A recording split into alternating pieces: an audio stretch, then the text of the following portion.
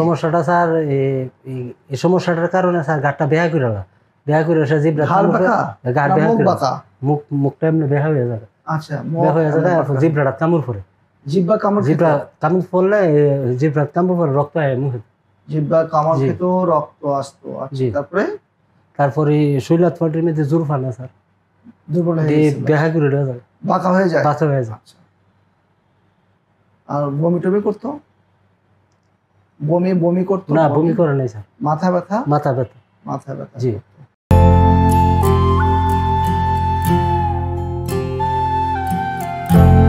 এই জন্য ডক্টরের কাছে গেলেন ইয়েতে কি বলে ভৈরব এটা ব্রাহ্মণবাড়ি ব্রাহ্মণবাড়িয়া ব্রাহ্মণবাড়িয়া ডাক্তার যখন এমআর করছে স্যার।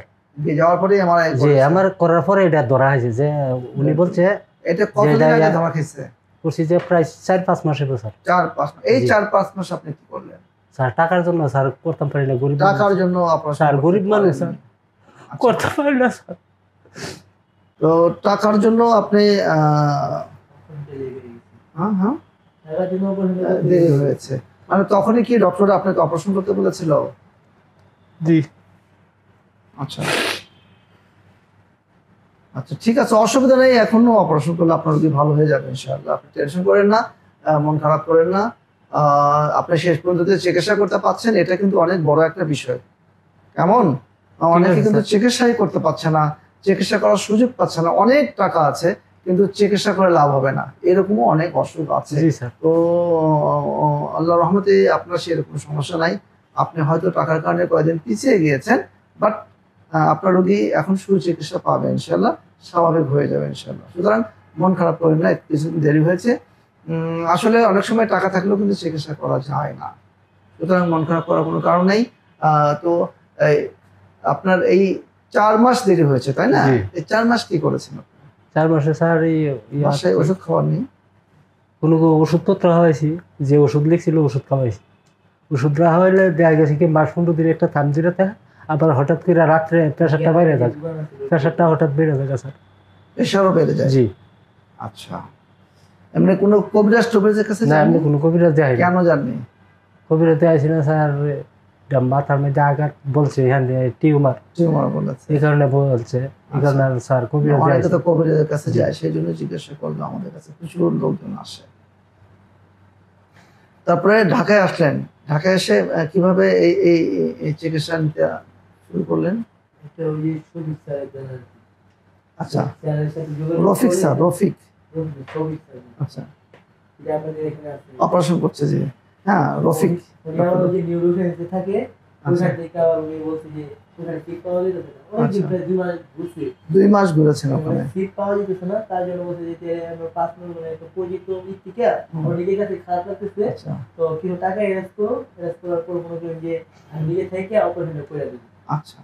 সেই জন্য এখানে আসছেন তো আমরা তো অপারেশন এখন শুরু করছি হ্যাঁ? দোয়া করেন। আমরা আশাবাদী যে আপনার রোগীর রেজাল্ট খুবই ভালো হবে। অলরেডি আমরা প্ল্যান করে ফেলছি কীভাবে অপারেশনটা করতে হবে। আর আপনার রোগীর অজ্ঞান করবে কি আপনারা জানেন? হুম? অজ্ঞান করতে হবে না। হ্যাঁ, অজ্ঞান কোন ডাক্তার করবে? উনি একজনকে আপনার দায়িত্ব দিয়েছেন সার্জারি করার জন্য। কিন্তু অজ্ঞানের ডাক্তারকে তাকে চেনেন?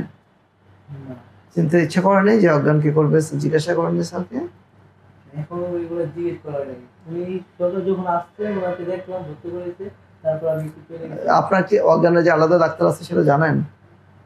জানেন না। মানে যে অপারেশন করে সে অজ্ঞান করে এরকম জানেন নাকি? আপনারা স্যার অপারেশন করেন বলে তো অজ্ঞান ফেরি করবেন স্যার। হ্যাঁ তো অজ্ঞান অজ্ঞানের ডাক্তার কি আলাদা না এক ডাক্তারই স্যার। এক ডাক্তারই? আচ্ছা।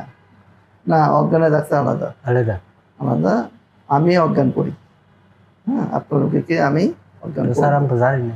হ্যাঁ? আমরা তো জানি না স্যার। সেটাই। ওই জন্য জানানোর জন্যই আমি এটা জনগণকে জানানোর চেষ্টা করব যে এত বড় একটা অপারেশন হচ্ছে। এই অপারেশনে যে অজ্ঞানের ডাক্তার আলাদা থাকে এটা তো আপনারা জানেন না। এটা লোকজনকে জানানো দরকার। আমরা সেই জন্যই এই ভিডিওগুলো করছি যে প্রয়োজনে যখন একটা রুগীর অনেক জটিলতা হয়, তখন কিন্তু সবাই ওই অজ্ঞান ডাক্তারকে খোঁজে। কে অজ্ঞান করল? তাকে ধরে নিয়ে আসো। কেমন? তো অজ্ঞান ডাক্তার আলাদা। কেমন? সার্জারি ডাক্তার আলাদা। আবার সার্জারি ডাক্তারকে সাহায্য করার জন্য আরও ডাক্তার লাগে অনেক। বুঝা গেছে? যাই হোক আপনারা জানেন না এরকম অনেকে আছে যে জানে না যে অজ্ঞানের ডাক্তার আলাদা। কেমন? তো আমি অজ্ঞান করব। আপনারা চাইলে যে কোনো প্রশ্ন আমাকে করতে পারেন রুগী সম্পর্কে। আপনার রুগী সম্পর্কে আমি সবই জানি মোটামুটি। অপারেশন অজ্ঞান কতক্ষণ করে রাখতে হয় এটা জানেন? ঠিক আছে যতক্ষণ অপারেশন চলবে ততক্ষণ তাকে অজ্ঞান করে রাখতে হয়। এবং এটা আমরা পারি। ধরেন যে এই অপারেশন এখন হয়তো এক ঘণ্টা, দেড় ঘণ্টা শেষ হয়ে যাবে।